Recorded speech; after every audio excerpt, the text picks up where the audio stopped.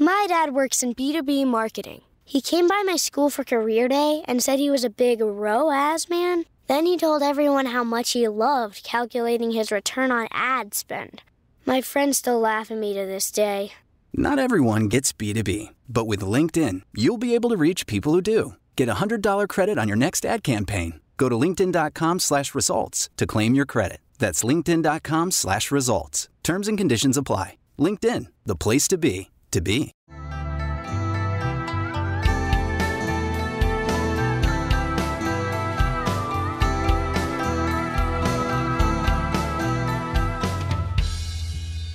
Hello, I'm your host, Les Bubka. Welcome to Anxious Black Belt, a podcast that focuses on karate, mental health, and everything in between.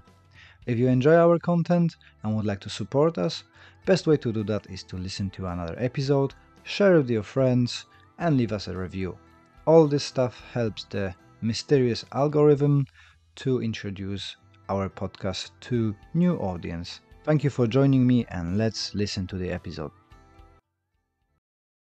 Hello, Troy. Nice to see you again. Uh, after yeah, good to see you too. Yeah. How was your journey? Because you went on the mission to try all the martial arts that you can around the world. I don't say I'm very envious of that, that you have a chance and opportunity to go from the country to country. And in that, that it, because of that, we met in the UK. How was the trip? Yeah. Tell us about the tell us about the project it was stressful and tiring, but extremely fun. Trying to do it on a time limit was, um, yeah, extremely uh, taxing. But now that it's finished, I look back and just it's so so much fun and so glad I did it. I was actually just going through the list of all the things I'd done to make sure I remembered some of them when we spoke, and and I was just like, wow, I can't believe I did that. So which one, which one was the most in- interesting for you personally? Uh, I've got two I really like to talk about. There's um, because my background was karate, but then um, predominantly Muay Thai. I lived in Thailand for three and a half years, just training in Muay Thai, and there used to be, well, still is, this big hate between Muay Thai and Taekwondo. You know, for some reason they hate each other, and um, I was no different. And uh, we went to Korea. Well, we're going past Korea, and I thought, I can't not be in Korea and do Taekwondo. So I was like, I'm either going to really hate it or whatever. I'm just going to go in and I'm just going to have fun with it. And it was probably the funnest martial art that I did over the whole trip. I enjoyed it probably the most. Um, I was very surprised by that, but it was a lot of fun. Um, the second one that was the probably the most memorable because of the cultural differences as well was probably um Indian wrestling. Ah. Yeah. That that was something um I didn't expect. I, I, I went there to do um and I always get this wrong, uh Kalapawatu. It's um yeah, yeah. it's it's like a mix of karate and a mix of yoga and a mix of other things but they said it's not yoga, but it's definitely got some in it. Um, they said, "Oh, you should try Indian wrestling while you were here," and I was like, "What's that?" And when I went there, they said Indian wrestling is what they use in the Olympics. It, it actually all traveled from there. Whether mm-hmm. that's 100% true or not, I don't know. But um, we walked walked into this gym, and there was the big blue mat with the circle on it. All the guys in red and blue, you know, the leotards and that. And I was mm-hmm. just like, cool, I'm going to learn some proper wrestling, you know and they're like, "You're not in here today. You're you're in this. You're at the back here." So we go out the back, and there's the guy dragging the big piece of wood with a rope over his head to flatten out the mud and stuff. And um, and they're like, "Have you ever wrestled before?" And I said, "Never." I said, "I, I can clinch okay, but never wrestling. Done a little bit of jiu-jitsu." And um, they're like, "You're gonna you're gonna fight today," and I was like, what? They're like, yeah, yeah, you'll be right. You've done lots of martial arts and stuff. And I said, I've never wrestled. I said, could you at least show me one or two moves? And they're like, no, no, you'll be fine. You'll be fine. And this is coming off the back of me having like my big back injuries and my hip injuries and and all this sort of stuff. So I was supposed to be taking it easy. And um, the first guy comes out and he's huge. He's like, they're like, this is the 96 kilo Olympic champion. And he's just huge, absolutely massive. And um, he just mopped the floor with me for two rounds, just absolutely smashed me. And um, the first move, I thought I was just going to rush him and try and get him to stand up straight because you know they're sort of hunched over. Yeah. And then so I can at least try and get a clinch. And all he did was drop to one knee and flip me straight over his head. and then um, I was pretty knackered after that. Then they're like, oh, um, here's an 86 kilo Asian champion for you to wrestle. And he mopped the floor with me for two rounds. But what was cool is their coach would walk around with a massive stick. And for three hours, they had to do either burpees or climb up arms only up a rope to the top of the tree and back down. If you weren't wrestling, you either had to do one of those two things or you got hit with this big cane that the trainer was walking around with. So that was probably the most memorable one. Cool.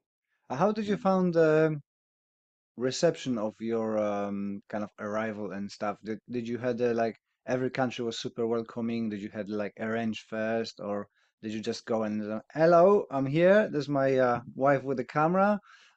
I'm gonna be filming now. Or did you try to pre-arrange it?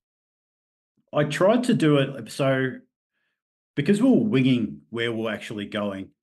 I, th- I thought we'll go to the first country and see where we're going next and try and find a gym a week in advance. In the, the Asian countries, that was easy as I just message a gym. They'd be like, yeah, sweet as, come down. Um, but in the UK, I found that a little bit harder. Um, and that's like, thanks to you, I actually found some really good trainers there and um, that was good. Uh, the only place that I felt a bit um, off put was we went to Hong Kong Mhm. and uh, to do Wing Chun.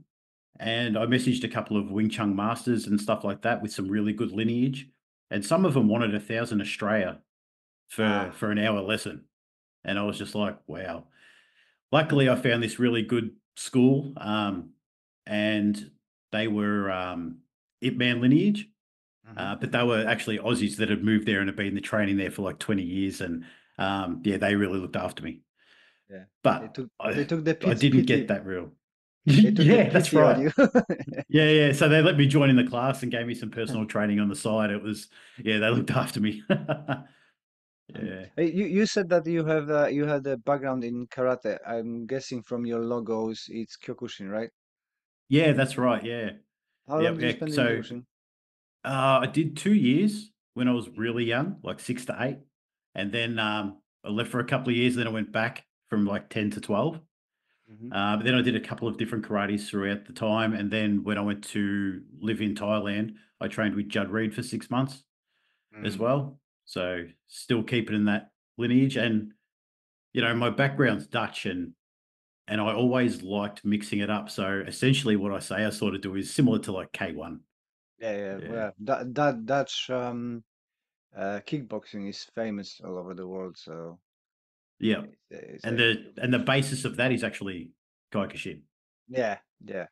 Um, uh, can you tell me about your um, mental health project because that's something that interests me, and, and I know that you guys are all trained mental health professionals, and so I, how the project works and what you do, guys. Yeah. Yeah. So the business is called Complete Health Geelong. Uh, we're a mental health and disability service, and we happen to have a gym. Everybody thinks we're just a gym, but we're a mental health and disability service first.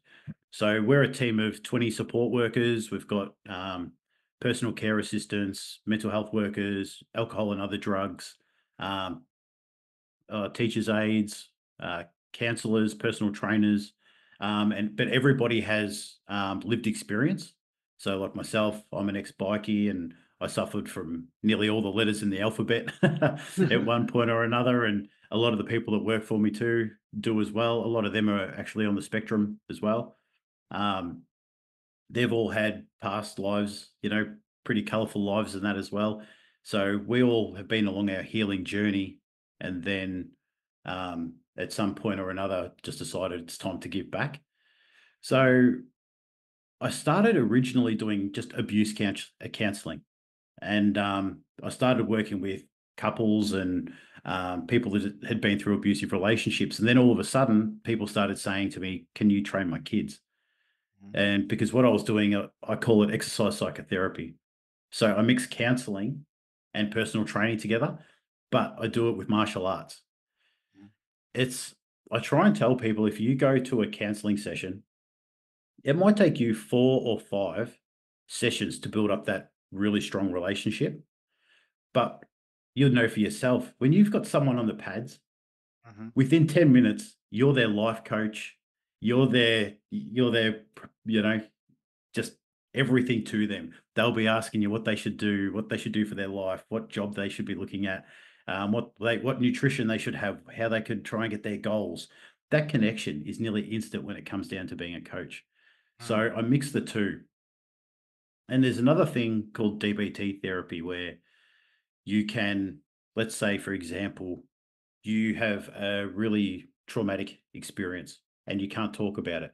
So in DBT, they might do something like get you to hold a block of ice mm-hmm. while you talk about it so that you're focusing on the block of ice because it feels like it's actually burning your hand, even though it's not. But what's happening is if you picture a sharp knife and um, every time you use that knife, it gets blunter. Mm-hmm. That's what's happened. That's what's happening every time you talk about the trauma, even if you're not fully focused on it. Every single time you talk about it, it dulls the pain of it till eventually you can talk about it in a relaxed body and you can process it and work your way through it. So I use the block as the block of ice.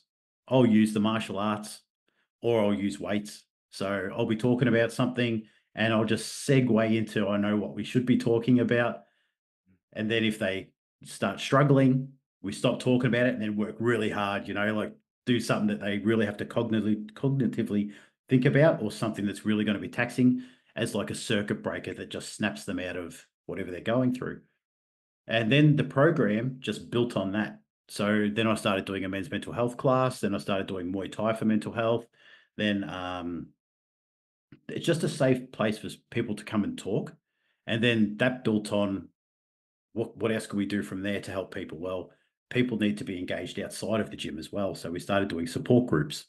And now I just had a meeting today about taking some of our guys to actually volunteer somewhere else to help build up meaning and purpose. So it, it all comes around in this big circle. So you've got the counseling, which works on the hard trauma. They go work with a support worker. The support worker gets them out kicking ass in life, you know, achieving goals, getting out of their comfort zone. Once they've got that, the support worker takes them to the support groups until they're no longer needed and they can come to the support groups by themselves because they've built up confidence enough, they've made some friends. In the support groups, we always do a fun activity and then we will do a, um, a cooking class as well. Mm-hmm. And then um, hopefully they get to a point where they're like, sorry, we don't need you anymore. Um, we're doing pretty good in life. And um, thank you for all your help. See you later, which is the goal for everything. Yeah, yeah, it, it is um, interesting. Uh, I've got the same. It's a bit hard to let people go when they feel better and they say that thank you. I don't need you. I'm leaving the group. Awesome, but um, uh, you know, uh, we're gonna be missing you. It was nice to train with you. Troy, can I get a five minutes break because my shopping Yeah. arrived? Can I? Yeah, sure, no Can worries. we? Can we? Sorry about that. No, no, all Just good. Oh, you're back. Really sorry about that. My wife forgot to tell me that her meeting was cancelled, so Yeah, no, that's okay. can't win. Uh, yeah, so you've been saying about the the helping people and then they getting better and then moving on, and we've been saying that um, it is difficult to departure with people, but in the same way you are like super happy because you help them, right? And yeah, um, that's the how, rewarding part. yeah, how many clients do you get for like for the week? Um, so all up, we've got about 150 on our books, um, but some of them come and go. So we've got about, uh, I think at the moment, about 75 active, like Mhm. every week. Um, but that's not just out of the gym stuff. So that's doing all the support work and all that stuff. A lot of them actually don't come to the gym. So that's usually a different group of people, but the gym's pretty quiet. So we're trying to market that at the moment because that's my little that's my little passion. I love when people when people do actually come to those groups, that is where they do get the best results. Hmm. It's just um, getting people into them that we're finding to be the hardest part. We've still got so we started four years ago. We still have people like the original people that started actually Mhm. still in this program. So it's just getting them in that's the problem. So we've just released the mental health militia. Mhm. That's a um, it's a non for profit and it's ran by guys with pass. So that I like so like myself, I used to be an ex bikie and and all this. So I try and say if somebody like me can talk about emotions, so can you. Hmm. So one day we decided to get on our bikes and say if anyone wants to wants to come down on a bike, there'll be a qualified counsellor, be myself and a couple of mental health workers. Um, we're going to have a barbecue, so if anyone needs a chat, come down. Three hundred bikes later, Wow. um, we, yeah, we decided we better make this an annual thing. Uh, so we're coming up to our third year this year, and all the money raised from that actually goes to sponsor people to come to our events in the in the gym that can't afford it. Because part of the big problem with mental health is somebody will wake up and they'll go, I want to change, I want the help. They'll go to somewhere and say, I want the help, and they'll say, Okay, it costs this much Mhm. And all of a sudden they're like, I don't have that. And then their people will say, Well, cool, you have to go apply here, apply there, go see your GP. And then as soon as they walk out that door, you never see them again. Yeah. So what we're trying to do with the mental health militia is when somebody comes in, we say, okay, look, we'll give you a week free of any of our, of, well, all of our services. And um, if at the end of that, you know, everything's going well, we'll talk about a sponsorship. So if they come to every session, they don't miss. If they, you know, for example, one of the boys yesterday who was thinking about it, just we didn't ask him to do this. He was just like, oh, your, your bins are full. Can I empty your bins for you? Mm. you know so we're like cool um so all we ask is anybody that does a sponsorship they don't miss any classes um they have to help around the gym they when we do the is we do a free barbecue for men's mental health every month they have to come man the barbecues but it's more about giving back that, Yeah. to make them feel a part of the group. So it's not that we're getting them to work for us for free. It creates a sense of meaning purpose they're giving back they're connected in the community and they feel a part of something bigger than themselves. And usually in life if things are given for free you know Yeah, people people, take it. advantage of that yeah and don't Mm. value it. So this way they get to feel like they're a part of the group they get to help out. And we're finding that's actually really cool We we're trying to do the same thing. So I do the concessions and uh, and the free training as well for people. And actually now this month we're registering our own CIC, so community interest company, somewhere between a charity and a normal company. So Yep. that's why it's very interesting for me. How how did you manage to how what was the process of uh, registering a company and what support from the Australian government you get? I know it's completely different to the UK, but it's from some people I hear it's a very difficult. Other people say it's easy. Um, how does that in your case, and what made you a, a success story?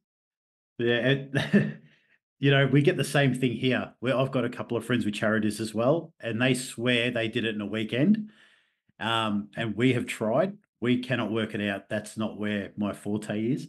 Mhm. Um, I like being in the gym, working with the guys, you know. Um, so when it comes to that back end sort of stuff, I'm terrible. So luckily, um, so we we had a really good accountant. So he did all the structure for us. And now that's in the hands of some new sponsors that have come on in the last couple of weeks that are really good at funding, that are really good at grant writing projects, that are really good at um, doing the actual registration process for us and all of that. So luckily, in the next few months, we'll be able to see a really good social media webpage and everything pop up, thanks to thanks to these guys, um, which is allowing me more time to do stuff like this and do stuff for Complete Health Geelong. Yeah, but it it is. I find it very difficult, but others don't. So yeah, the first step was just going to the accountant and saying, "Can you do this for us?" Because I don't have the know-how to, to do it. And then find. I always say I've learned this just through my business in the last four years. If you can hire some a professional to do it with the expertise to do it, hire them. Don't do it yourself. Um, for for some things anyway. For for back, if you're a people person, generally, you're probably not going to be good at the other stuff. So hire somebody to do the other stuff.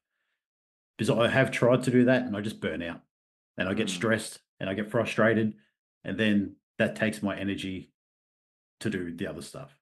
Yeah, I was thinking about it as well, like, and and and I decided that yeah, I'm gonna pay for a consultancy to help me guide through the process because in the long run, it saves me my health, my mental health, and probably money in a long time as well. So, so yeah, I went for a mentorship, so hopefully it's starting next week. yeah. um, and we can do do similar stuff. And you know, it's it's nice.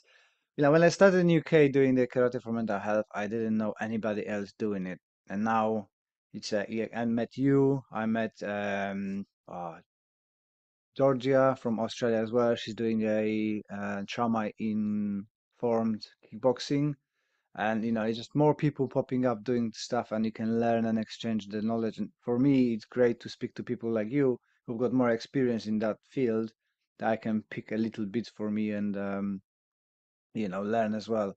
So how did you get into the uh, side of healing and becoming a counselor and stuff? What what drove driven you into it?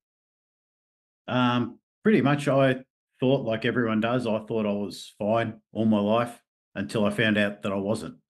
So um I, you know, nobody really ends up in a motorcycle club because they're super healthy. You know, if we're uh, Peter Pan syndrome and and all of this sort of stuff. So, but I didn't know that at the time. So I went through a series of abusive relationships, um, and then I um, did five discs in my back, and then I shattered my hip, and then I uh, lost my brother all in the space of a couple of months, and basically hit rock bottom. Didn't know who I was, where I was going. Um, just couldn't couldn't leave the house at the time. Um, just in a pretty pr- pretty bad headspace, and you know I was in the perfect place to do it. I was, you know, my my environment was just sex, drugs, and rock and roll at the time. Mhm. Um, I wasn't working because of my injuries, so besides the club, I had nothing. So it was just all party um, until it wasn't. Until I sort of realized that I can't keep repeating these same patterns. So um, luckily, work cover sent me to a um, cancer uh, psychologist, Mhm. and it was the best thing that ever happened to me. Um, I thought I'm going to go in here and you know play the system and um, you know be off work forever and all this sort of stuff. Mhm. And uh, within the first 15, 20 minutes of the session, I was bawling my eyes out like a little kid. And um, I just found the perfect psychologist for me. And I basically went, sometimes I went twice a week. It was always once a week for about seven years, but sometimes twice a week. And it was just life changing. About halfway through, so after about three years of intense therapy, um, and I become a trauma nerd. So when you when you have a um a breakup, especially from like narcissistic abuse or something like that, you have this big void and it needs to be filled. I filled it with trauma. There's a there's a saying that goes, um, all I wanted was a, a relationship, but now I've got a degree in psychology. Um, that's pretty much how it worked. So um, I just studied trauma because I didn't want to end up in this position again. I was like, I'm done. This has been a, rep- a repeating pattern all my life. I'm I'm sick of it. I need to do something about it. So I was studying flat out. uh, So for about three years solid, and then um, just home studied, just out of interest. And back then I was very manic, so I wasn't sleeping much. So I was. T- there, there was some times there was like I remember there was a six uh, about a six week block. I slept for one hour a night, and all I did was study, um, just completely manic. And um, then after yeah, about three and a half years, I decided to go and do some real qualifications. I'd done a, a lot of qualifications online, but no real legit registered ones. Mhm. So I went and um, got a traineeship in drug and alcohol. And then I did counseling, community services, mental health, disability, and um, then sort of meshed them all up with my own little package and did some trauma informed stuff and learnt all about adverse childhood experiences and complex trauma.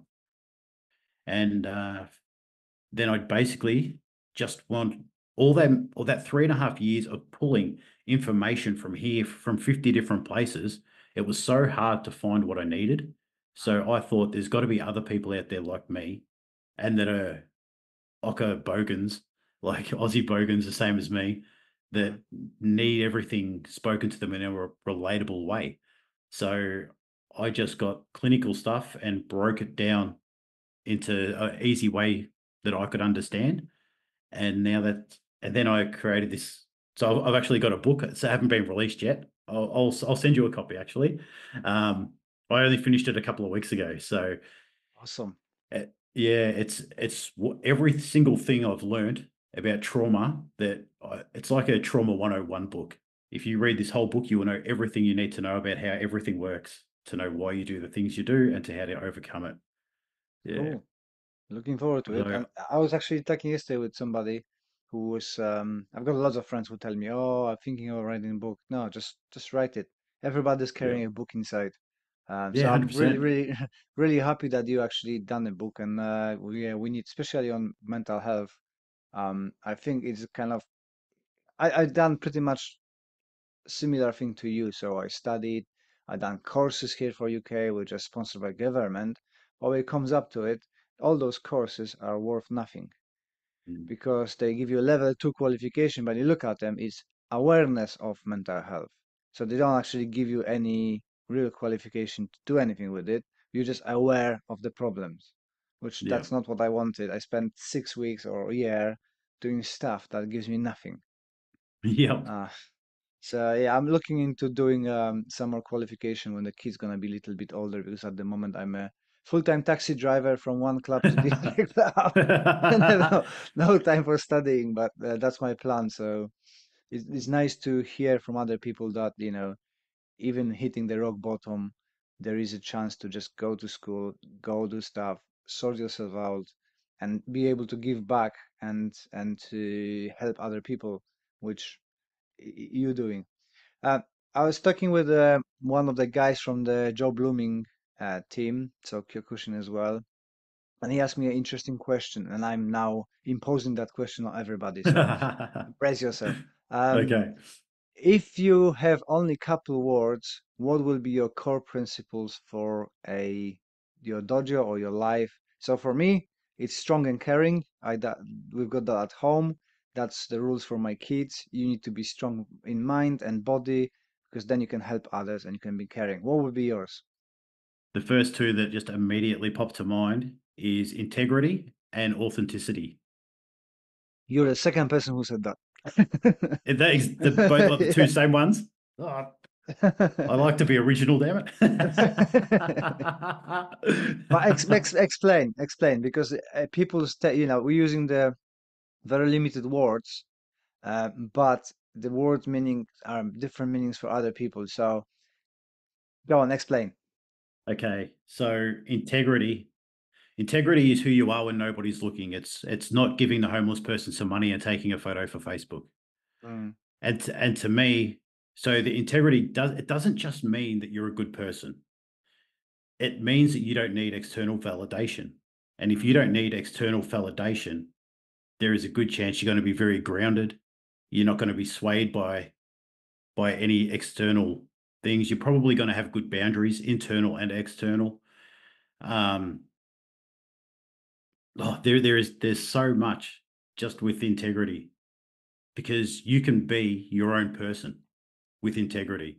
You don't need to. You will never use anybody if you don't need external validation. If you don't need all these things, you can be your genuine self, which Mhm. brings you with brings me into authenticity. With authenticity, most people, the majority amount of people, I would say, don't live an authentic life. Um, and that's a very sad thing.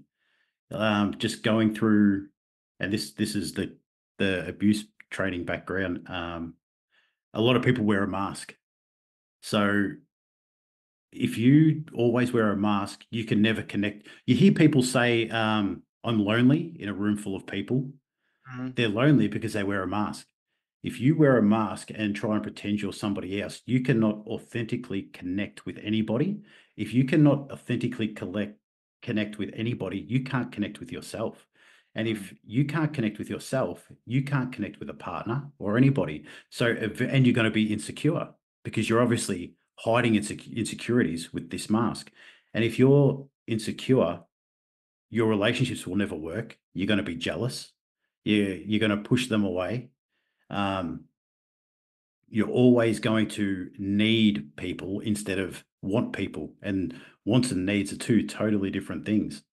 As Mm. soon as you need something, you're going to have a bad time, especially a partner. Um, being able to just want somebody and choosing to be with somebody, that's that's where the love is.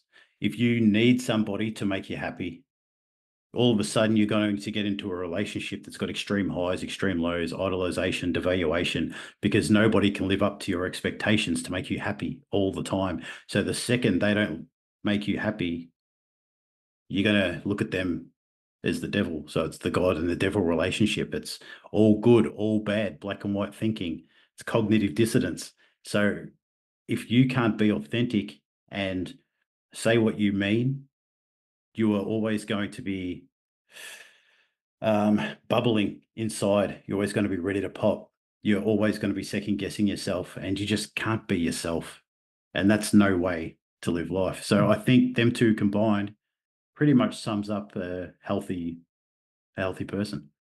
I think I think nowadays it, I feel like you know I came from Poland before the era of internet and stuff, and I think uh, in terms of uh, authenticity, it was easier than than now for people, especially with the advent of Facebook and stuff. Everybody's putting that perfect life, and I you know I I often put things that I cocked up or didn't work out for me, and, and I get so much comments like, "Wow, you're sharing all your negative stuff." Well, because I'm trying to show people that it's not all roses, right? If if I've got the perfect life on a social media, I can guarantee that some of it is not so great for everybody, Mm. right? We all going up and down, and and and that's how you. The mental health for me is that the uh, uh, spectrum that where you're dealing either you're over happy or, or over sad, and that happy medium is where your balanced mental health is. But if you got Yep. only a sharing only a good stuff, you're making yourself disservice. If that makes sense. Yeah. Yeah, yeah. I don't know if you saw while I was traveling the world doing all this cool martial arts and I was putting up photos of I was training with this person and that person. I also put up posts intentionally to say that I was stressed about stuff at home or you know the business back at home or this was going on or I, I wanted people to know that just because my highlight reel looked awesome I was I was doing some amazing stuff it didn't mean we didn't get delays on planes it didn't mean that um, the hotels didn't mess up it didn't mean that things weren't going you know right all the time I mean it was a pretty awesome trip but it was also super stressful and I think people get sucked into people's highlight reels. I mean, you can you can go to places. There was one place in Phuket. It's called a selfie gym. So you can go to this place. They've actually got selfie rooms and stuff. So you can go um, like take a photo in a plane in a first like so it looks like you're in first class. You can rent this for an hour to get a photo shoot done. You can. It's just crazy the lengths people will go to to portray that sort of life, and it's making other people feel bad you know, when it's not true, it's not genuine. Um, Yeah. Trying to sell an image, they're masking, you know, they're carrying that mask. And people look at that and it affects them negatively. So I'm always conscious about putting that stuff up, the negative stuff up as well. Because it, Mm. it is, it's easy to just post the good stuff. Yeah. And, Mm. and as well, you know, it, it's skewering uh, people's perception. And best example is the fitness industry. With you know, you see the Instagram posts of people with the perfect bodies, and you know, ninety percent of time it is made by Photoshop or good lighting Yeah. and you know, uh, creams on you and suntan and stuff like that. So it's not that how you look like all the time Yeah. but but young people aspire to that and and i think that's causing a lot of mental health as well both in men and women trying to live up to the image that is unrealistic and unachievable Yeah, hundred percent. Have you seen that everyone's like, oh, it's only women that really have like unrealistic bodies to go for with Barbie and stuff like that. I'm like, have, have you seen He Man? yeah exactly Like, it, body image is something I've definitely always struggled with, and especially after my injuries. So I went from being in Thailand training twice a day, you know, eating 4,000 calories to not being not being able to use one of my legs for 12 months, like non-weight bearing. So, and you know, three months of that I spent in bed, but I still ate the same. so I I and like there was some other, a couple of other reasons, but I ballooned out to like 163 kilos. Wow. And um, and it's easy. It, it would be. No one's ever said anything, but I imagine that people look at me and go, "How's this guy a personal trainer? How is this guy that?" It, it doesn't matter that I'm under 120 now from 163. They Mm. just see this big guy and like, "How's this guy a personal trainer?" But people don't understand that there's you don't know what's happened in someone else's life that's made them like that. I've seen um, other big personal trainers online get absolutely bashed, and I, Yeah. there's one in particular I know about, and he actually had a back injury from powerlifting. Um, and he was fit as before it looked fit as powerlifters eat a, eat so many calories, and he just made the same mistake I did. But with depression, food becomes a coping skill, especially if you're not doing drugs anymore Yeah. you know so so um nobody this is one thing i always say to everybody nobody wants to be overweight so if people are overweight there's a reason for it and it's usually because of poor coping skills or poor emotional regulation skills and it's something that i've always had to work on and something that i still do have to work on um but getting down from that to that especially with the life i've lived it it's a it's validating for me. I don't need that external Mhm. voice anymore. Yeah, but it's definitely a big thing for kids these days. Like a massive if you see- the um the steroids use at the moment is Yeah. absolutely crazy. It's like everybody's doing it now. It's like if you're not doing it, there's something wrong with you. Yeah, I think it's it's it drives. Uh, I don't know. You, I can't remember his name, but there's a guy with long hair. He's massive. He's like 20 year old, massive, and you know. Oh, Sam Sulek. Yeah, yeah, that's the one. Yeah. Yeah, and you know, it just everybody wants to be like him, and easiest way to do it in that age, there's no fucking way he's natural. Yeah, no, not at all. I put my head on the stump to be chopped off for it. For it. It's just like you know. Um, but you know, going going to coping coping mechanism, it might not be seem that I have issues like that, but I reach now I'm on a fourth day again to not having sugar because if I'm Oh, yeah. stressed, for example, my kids piss me off, I go and eat a, a whole jar of Nutella, right? and then I feel really bad. I don't have a, a weight problem because my naturally my dad was skinny and my, I think my, metabolism is like that. But sugar high, you know, I've got inflammation. I feel feel tired after it. But that's kind of you know, instead of go and shout at them or hit them, I go and fucking Nutella. I suppose it's bet better way for them. So, yeah, that's it. Yeah. but you know, we all got some kind of coping mechanism for something, and it's and it's easy to say, oh, just control it, right? I'm trying to quit sugar and chocolate. I think it's seven years now, and I go like nine nine weeks, and then something happens, and I fuck it, I just nah. but this time It will be different. It is. It's it's so it's so hard. Like people say, just eat less and move more. Well, yes, that works, but there's a reason why somebody's not moving more or eating less. What are those reasons? Like that is true, but some people are depressed, so they don't even want to get out of bed. Some people only have been brought up that food means love, that food is a coping skill. Mm. You know, so so it's unpacking all these limiting beliefs to be, before somebody can make the change and actually start losing the weight. Mm, Yeah. And I see as well, you, you said that you see personal trainers. When I become personal trainers uh, 15 or 20 years ago, um, I've seen the same people commenting, but I see that more and more in karate. Oh, look at that fuck, fat, fat guy, you know, oh, this fat sensei walking around.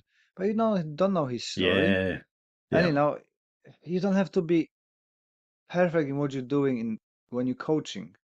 It's like best example is football. How many footballers are football coaches? You need to Mm. have a skills to coach people and explain. You don't need to be able to do splits and you know lift 200 kilos to coach somebody. If you've got the Yeah. skills, you know, even in boxing, you've got to Cus D'Amato produce Mike Tyson, and he was Yeah. great. So it is kind of sad to see how people jumping and try to put down people instead of elevate everybody. Mm. Hundred percent. I've I've seen them videos online of people paying out, you know, overweight karate guys Mm. and stuff. And then there's a there's the odd couple that just start doing spin kicks and like you know moving like they're capoeira kings and that. You're Mm. like, you know, that dude knows his stuff. You know, Yeah. people judge. People people judge, and it's always you know you'll never meet a hater doing better than yourself. You know, all these people paying out on somebody trying to do something better for themselves Mm. aren't doing good themselves. No, you know, hurt people hurt people, and and that's and that's a true thing. You know, they're trying to pull other people down to make themselves feel better because they haven't gone out and achieved something. You know, Mm. Yeah, they're sitting in the basement on the computer. just see Mike Tyson put on a heap of weight. Yeah, Um, like yeah. when, when he first when he gave up exercise completely, and uh, people were paying on him. I'm like, how can you pay out Mike Tyson after what he's done? Exactly. Yeah. Uh, uh, People have got that expectation that, you know, you're always gonna be that legend that you've been in Yeah. 20s, but that's not reality. Yeah, Um, not at you're, you're, all. gonna, you, you're gonna change, you're gonna be different versions of yourself, and you just have to do the best you can do at the time, Yeah. isn't it? Yeah, hundred percent. It's it's funny now now that I can actually get back in the gym and and train a little bit now. Seeing the younger guys. I thought I still sort of felt relatively young until um I started seeing the the purple belts in the gym, you know, in jiu-jitsu that are like 28 and competing until I Mm. saw them guys rolling and stuff. I thought I was young. now now that I've seen them, I'm like, yeah, my expectations of myself have lowered a bit. Hundred percent, you know, I'm going to BJJ as well, and the 20 year olds, 30 year olds coming and just smashing through you, especially that I'm small, so everyone's bigger than me. But seeing just as well how quickly they learn, you know, I've got a few guys who starting the same time as me, but they are 20 years old, and their retention of information is so fast. It's just like, Yeah. hang on, three weeks ago I had been equal with you, and now you're fucking beating me crap out of me. like, and I thought I was doing well. but yeah.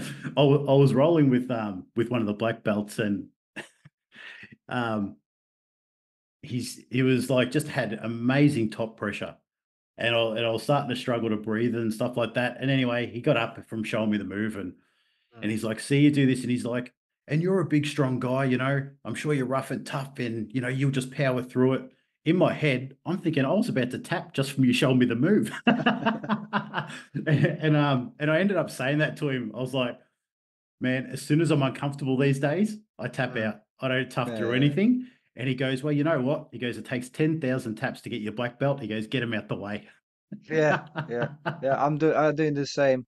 Tap quickly, tap early, be healthy. It's just not not worth me. I used to always, you know, power through, try to prove the point because I'm smaller, so I need to be stronger than everybody else. Now it's just no, tap tap tap tap. I'm I'm done. Thank you very much. I have no I have no ego. I'm here to have fun and learn something maybe al along the way, but I'm not not anything to prove. Yeah. Yeah, I wanted to talk to you about about your um your mental health, like your version of like Tai Chi, I guess it is. Hmm. That this is that just slowed down katas with breathing and stuff. Is that is that's something when I come back, I would like to learn off you and bring bring back here. That Hmm. is that's awesome. Yeah, so so it started. So I used to be a walking leader for uh, Walking for Health, um, and there was few elderly there doing Tai Chi, and they said the prices went triple up. So we, they said, oh, "Can you do something like that?" I said, "Well, we can try." So I took all the kata that they like, and I slowed down. I tried to change some movements to be more like mimicking Tai Chi, but Mm. then I thought, nah, that's not authentic and it's not me. So it got back to the just the regular uh, kata, but we're slowing them down and uh, I kind of softened the movement, so it's not so much uh, karate-like.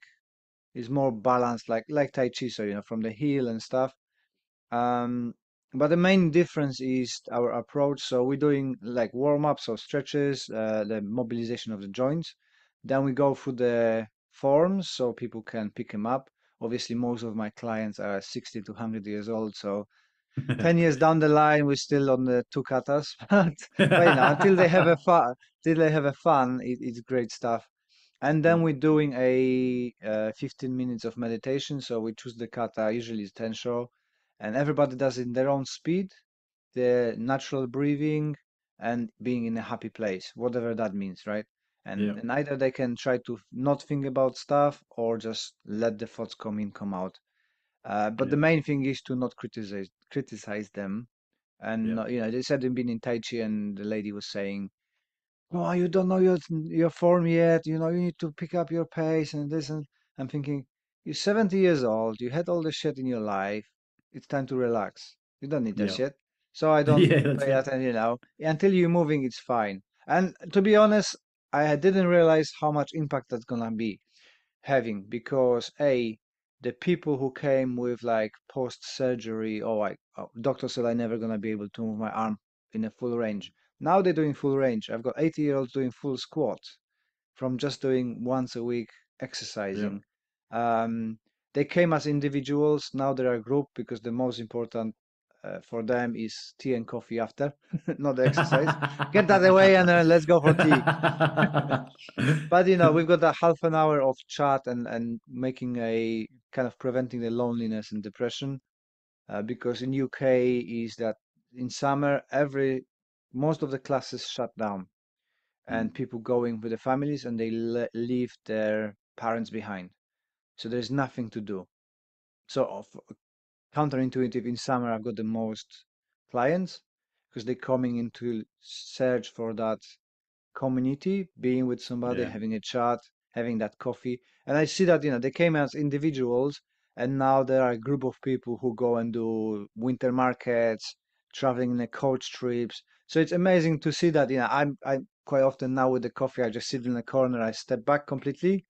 So I'm just the observer and they all having, you know, really good chats and gardening clubs and stuff like that. So they created the community and I think that's the biggest uh, result of that is. But in terms Mhm. of kata, we just slow down the kata and trying to. I picked up different kata, so in, in emphasizing like for tensho, mobilization of the joints, stability of the spine. We done that naihanchi, so stepping on one leg, keeping that longer for a balance, so they can Mhm. work on the balance a little bit. Uh, then we're doing um, like uh, bassai dai for spinning, so the the orientation within the space and turning around and and stuff like that. And they're enjoying it, you know. Mm. My uh, longest core group of six people is with me now 10 years, I think. Oh, wow. That's phenomenal. And you know, they, they keep coming. They can't get rid of them. I said to them, every training I try to get rid of you, but you keep coming back. well, I read one of the books that you gave me, and it was really good. Like, a, where Hmm. everybody was telling their stories of why Oh they were yeah. doing the martial arts. Now, with you, that was really cool. The format, I, the format was so interesting. I've never read a book like that before. Yeah, was it was really a cool. lot of an anxiety for me because you know when you when you try to be a author, you try to make things perfect.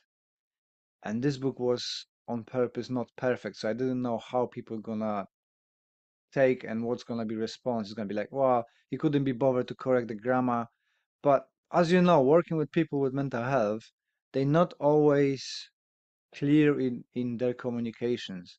It's a lot of scrambled words, lots of repetition, losing the track, and and I thought to be authentic and kind of have integrity and and give that people a voice, it needs to be how they said it. Yeah. Um, so so far I've got a really good reviews from it, and people actually really really like it. So I'm happy that I put my foot down because my wife is like a OCD grammar person. He's like, no, this is wrong. Just leave it. Please leave it. Leave it. Trust me. Leave it as this. So, um, yeah. So I'm looking. It's actually forward. given me a bit of inspiration for my next one. Oh, cool. Glad to Yeah. hear. It's it's always nice to to help people, even if you don't know that. Yeah. So, wh- when your book's coming out, when it's gonna be available on um Amazon's and all the stuff? Are you going for Well, Amazon I, or? I'm not. I'm not happy with it yet. It's um. I would actually like to. So it's 325 pages. Um, it's a lot of diagrams and stuff, but I would actually like to um streamline it a lot more. I, I would like to basically summarize what I've written and make it just a lot more digestible. It's written how I talk, but it's a lot. So Mm. um, I feel that I could condense it a little bit more. So I'll probably rewrite it another 10 times before I ever do release it. It's, It's- it- it's the- that's all the the knowledge. I've picked up over three years, uh, over, you know, the last 10 years. Mm. So yeah. Yeah, that's the process. You just look at it and then how can I make it better? I'm not happy with this. It's it's very tiring, Yeah. but it's it's always worth it, right? Yeah. Um, Yeah, I don't have a talent for writing, so I keep saying to people it's not a Pulitzer, but it's you get what you see, right? If I go, um, I um, don't know. I thought it was pretty professional myself. oh, thank you very much. Yeah, I was talking yesterday with uh, one of the guys from Kyokushin, and he said to me, "Oh no, you look super confident, but you know, inside, I'm like, what I'm doing here, why I'm here, how how can I talk to people and and try to to be not stressed about it, but apparently I, I come across that I do things correctly. But that's again coming back to my own anxiety and fear of judgment and um, kind of low self-value. So you know I do those stuff, Mm, and the feedback like yours help to build me up block by block up, so I can be more confident person. Um, Mm, When I when I was a kid, I used to not stutter, but I used to stumble my words a little bit. I was very self-conscious, very shy. Um, I never thought I was any like any sort of leader. I actually thought I was pretty stupid, to be honest. And um, it's only since I started doing my TikTok and stuff like that that I'm getting comments saying, "I love the way you explained that," and I'm like, mm, "Me? You like the way I explained it?" and it's it hasn't been until the last couple of years I've realized that I've got my own style. mm, And the problem is you you watch somebody else talk online and you're like, like you might because you do podcasts, you might watch Joe Rogan and go, mm, geez, I wish I had his vocabulary. I wish I could talk like that. But you don't need to. You need your own style. That if everybody was Joe Rogan, it'd all be boring, mm. you know? Funny enough, I was the other day watching your video and I thought, fuck, I wish I could talk like that. I- I've always wished I could talk like somebody else. But it is that kind of self, well, we are the worst critics for our own. Every time I look on my videos, I think, fuck, why do I do this? Why do I look like this? I'm not happy with this. I'm not happy with that. But the perception of self is so different than perception of other people of you, Mm, isn't it it? is. I, I was nervous doing this. Like, Mm, same. and you know, this is fairly, you know, it's fairly easy. Mm, Um, now that I'm here, it's cool.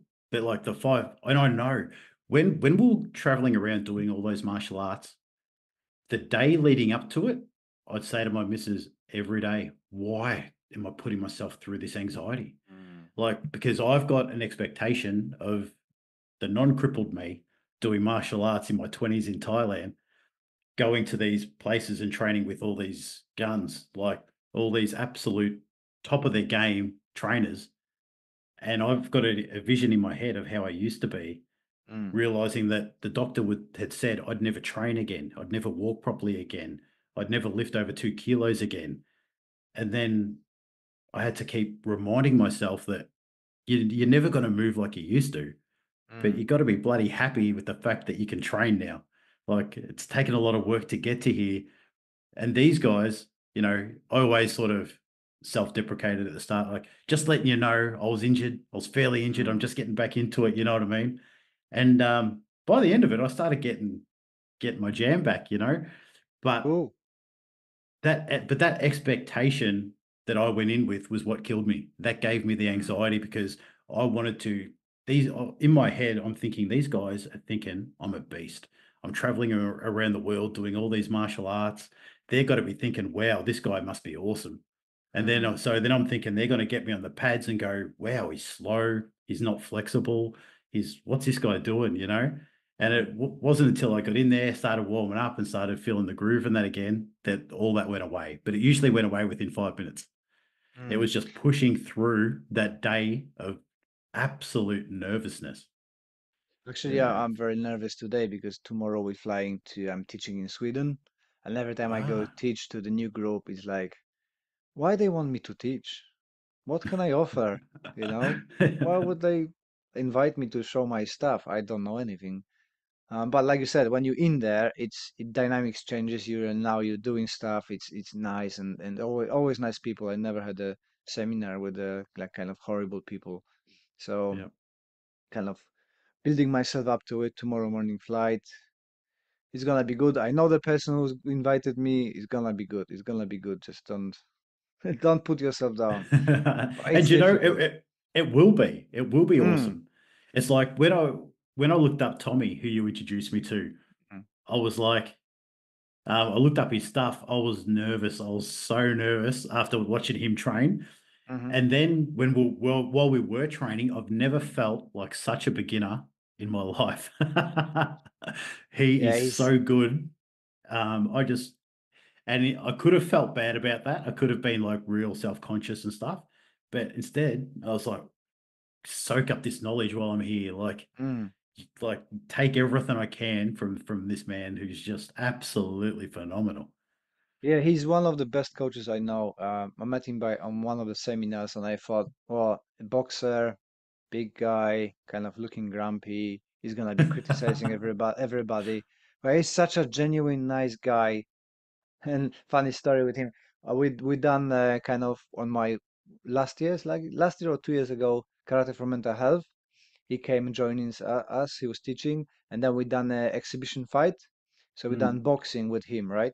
And I'm thinking, oh yeah, we're gonna be boxing. That whack hit me like seeing stars. Okay, we go in, and then he comes. He said to me, "Oh, I knew you wouldn't appreciate if I go low light for you, you know. So I give you a good, good one. Thank you. You're you're three times heavier than I am. Thank you very much. I didn't want to even upset just you. even just training, he was like that. Like because like we're doing bartitsu, and I'd Mm. never done that before, and he was showing me some bare knuckle stuff, Mhm. and uh, we're doing this stuff like to the chin, and um, like I was just mock doing it, you know. I wasn't really Mm. doing it. And he's like, "I'm not made of glass. Just just do it." but yeah, he's an absolute gentleman, and yeah, I'd never felt like such a beginner before. Yeah, Um, Oh, that's cool. I'm I'm happy that I was able to help because um I know how it is, you know, maybe not for just traveling and training with people, but I know how difficult it is to find a good class when when I moved to UK, I spent a lot of time to find uh gym to train, the karate sessions to train, and ev eventually I end up doing my own yeah. because there was nothing I could find. And then, you know, through the connections, through other people, you find other people who introduce you to stuff. So now we're doing actually um, parts of Tommy's uh, knife mitigation because it's the best Oh yeah, material I found. So we incorporated it in our training, and because here in, in, in UK is a plague of stabbings now, especially for couldn't young believe people. it. For young people, so I decided, fuck it, I'm gonna have to learn it because my son is seven now. Soon he's gonna be 13, and he needs to know what to do. So, but he started jujitsu last week, so Yeah. I started a oh I, I did a um Krav Maga instructors course with Itay mm, Gil and we did a lot of knife defense and I've never once taught it. I've mm, um I always said that if I teach it to somebody and they get this fake air of confidence and somebody attacks them with a knife and they're like, I mm, know Krav Maga, I can defend this, and they get stabbed, you know, I don't want to give people that sense of security. yeah, So I just never taught it. And I thought it was never that big of a problem in Australia. And then um, when when I went to England, you you walk on the train and there's posters. Watch out for the knife fighting. It comes over the radio. Uh, you know, beware of you know knife violence. And and I was just like, wow, you need to do knife training over here. And mm, you probably realistically probably do start to need it over here now as well. mm. Yeah, it's every every day. It's it, it lasts five, six years. It's just going nuts. It, Tommy was doing. We we had a couple months ago the the session in, in last year. It went 50% up, and that's only Yeah, the recorded one. That's only the people who've been caught and, and reported to the police. So probably 90% up in stabbings. And you know it, that, that's what happens when you've got the defunding police, and you know you don't have uh, people to search for for it, and people um, don't have a um, harsh punishment for it. So, and they've got a culture. They always love knives. Knives. I don't know yeah, why in UK, but you know that's the reality. yeah, And I want to prepare my son. It's not the kind of hands-on, but awareness. You know, look look if they've got the fingers. You can see the fingers and stuff like that. Try to just prepare him. So stay away. First first line of defense. You're doing so much sports. You don't have a time to go anywhere. So yeah, you not be there is the best defense. yeah, But you know, he's gonna be in the age that we're gonna go with his mates to the pubs and stuff. So just just so he knows the awareness of it and and talk himself out, you know, and and get get away and don't be stopped. And some physical stuff as well if you have to. But you know, yeah. it never ends up well for people who defend themselves with a knife. We've done it in dojo and 100% deaths always. Yeah, yeah. Since it, it's been funny too since um since we left the UK, I've thought about you a lot because you you pop up all the time, you know, and the karate for mental health. And I'm thinking, I'm doing Muay Thai for mental health and and that. And I was like, why didn't you call it martial arts for mental health? Then I could have called it martial arts for mental health, and we could have done like a, Um, you know, But yeah, yeah, I was thinking about this as well. I think somebody's took that name already. There's martial oh arts for mental really? health Yeah. in UK, but um, but yeah, I don't see the you know I don't see the problem between cooperation and uh, I I love karate, so that was kind of and there was now but nothing happening here in that space, so I Mm, thought that was the logical stuff. But to be honest, um,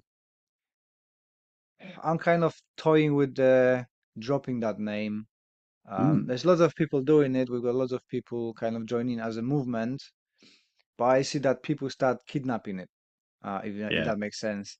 So I, Um, I was the first one where I live. The I was the first gym to do mental health. mm, As soon as I did, and it became successful, every yeah, single gym where I live now in Geelong copied my exact idea. There was a couple of guys that we were actually going to hire and train up.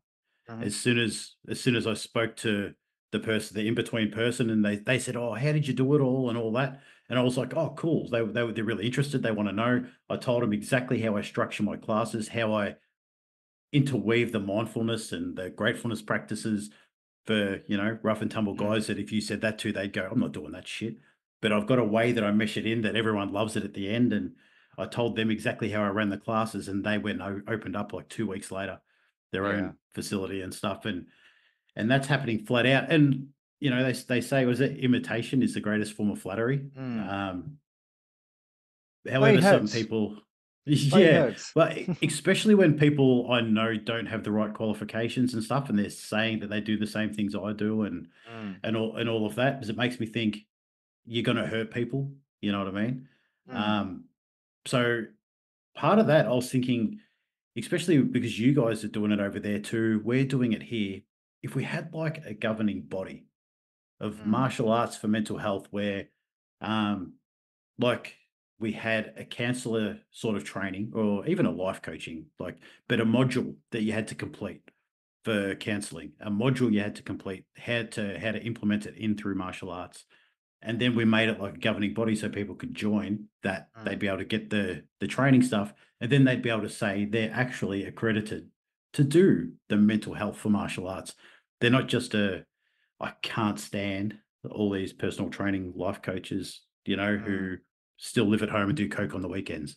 Um, they, they've done a uh, neuro linguistic programming weekend Mm. course and and they're trying to help people when really they're probably going to hurt people more than help. So So I, I I was thinking about it as well, but the, the problem with me is that I, I have no formal qualification, so I'm not using it as a therapy. I'm using yeah, it more as a uh, support tool for the therapy, right? So people go yeah, for a thera therapy, they've got the protocols, but I'm using it as a exercise addition to it, right? So I don't try to help yeah, people. I have no no knowledge about it. I'm just providing a Well, your your book says support otherwise. Your books and that say otherwise. Well, but, but you know, I'm not uh, I'm not um giving advice to people if that makes sense, right? I'm not Yeah, qualified to, you know, oh, you've got this condition, you've got this condition. I'm just welcoming and, you know, helping people how to how to say it, right? It's not a it's not a therapy, uh, as yep, in a, in a legal sense of it. But yeah, I was thinking to do for uh, for a karate, um, based on the modules I done for the awareness, do like awareness so they can more understand the mental health and what might come into the their dojo, right? Mm, But yeah, yep. if if if if yeah, interesting concept. I, I would be up for it. Because I, I do think it's neat because everybody's doing it now. Everybody's jumping on the bandwagon and there's no Mm, regulation for it at all. And there yeah. probably should be. And like to say like no formal qualifications that the the first course, uh, well, one of the first courses I did, I did my first three with a guy on Udemy. It's a um Mm, he's from your neck of the woods actually. Um he's called Kain Ramsay. He's on um Udemy. His course costs about 15 bucks each one. mhm, He does a life coach one, he does a counseling, and he does a mindfulness. If you do all, th- I did all three, and then I mm, went and did my real, you know, government qualified um, counseling course. I nearly went to sleep every class. It was so boring. And all I did was watch his videos. They cost me 15 bucks for the Mm. course. And I learned more in his online course for 40 hours Oh, than I did in my government funded one. Cool. You know, yeah, it's un- unbelievable these these courses. And if you Mm. if you find the right ones, you know, it doesn't need to be formal, but yeah. Yeah, but it's just you know for a for a purpose well of insurance here in UK, I I Yeah. I try to stay away and I you know it's leave it to professionals, my opinion, right? I do I well, it's provide funny. I got training. I got audited audited the first day I opened. I didn't Alright. even have a client yet. Yeah. So Mm. um, my ex partner, who was fa- fairly abusive, um, uh, our dream was to open up what I opened up, and um, so somebody got a tip.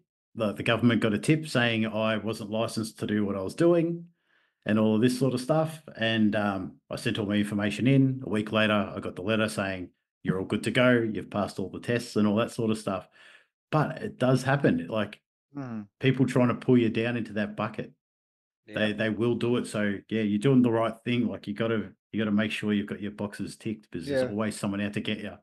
Funny enough, yesterday I had a message from somebody from Italy. Oh, send me all your materials. I wanna uh, how where should I start with karate for mental health? I said, well, I'm- not actually understand what you want me to do, but my books are online. I said, oh, so you're not gonna give me anything for free? I said, no, you know, I spent 30 years doing my craft and experiences and paying money for it.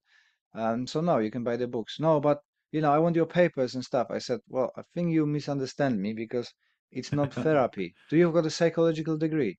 No, because I don't need to. I don't do therapy. Oh, okay, okay, crystal clear, and then fucked off. So yeah, Just I was actually once the wants the quick business.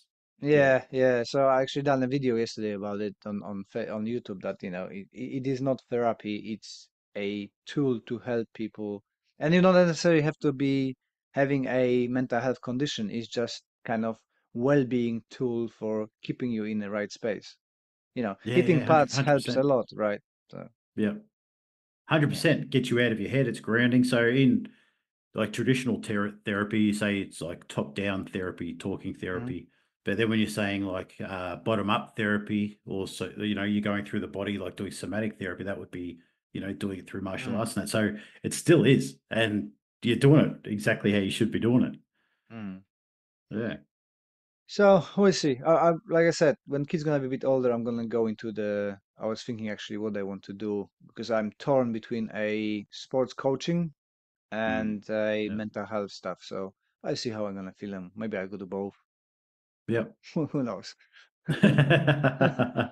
Troy, But- if you could give us uh, all the where people can find you, promote yourself, and all the links and stuff. Yeah, so under Complete Health Geelong is probably the easiest one on uh, TikTok, Instagram, Facebook. Um, and I post different stuff to my own page, which is Troy Koerntjes on Facebook as well. And I've just done a uh, uh, YouTube as well, but I'm not updating that as much because I'm still getting savvy using all this technology. It's still not my jam. yeah, so um, usually uh, TikTok for bikey stuff and like similar to the stuff I was talking about before, you know, um, like dissecting some trauma sort of stuff. And, and then if you want to see what all my groups and and all that are doing, yeah, down to um, Complete Health Geelong. We're gonna put all the And the mo- the in there. motorbike stuff. Oh, but you've got a pretty big motorbike culture in the UK too, don't you? I'm not in bikes at all. My wife is, but I'm not. my fr- my So- friend friend Martin is in the biking clubs, and yeah, there's lots of Yep. um lots of bikers around. Yep. So that's um the mental health militia. That's on uh, TikTok, and we're more active on Facebook though as well. Okay, cool. I'm gonna put all the links in the description below so you can have a look. But I highly recommend to look at uh, Troy's stuff. Um, top stuff, better than mine. Uh, he speaks better than me, so um, yeah, think and so. I'm and I'm looking forward to that book. Um, I'm sure you need to write more. More, more, more, more, more, and more of good things. Well, I'll be, I'll, um, I'll be really interested in your feedback. You'll be the second person I've sent it to. Awesome, awesome. Happy to, happy to read it. yeah. Thank you very much. No worries. Thanks for having me. Well done for listening to all of it. Um, you are a superhero. Thank you very much for your support. And if you could leave us that review on a podcast platform, that would be amazing. Uh, I appreciate your time, appreciate your support, and I wish you all the best until the next one. This podcast is part of the Sports Social Podcast Network.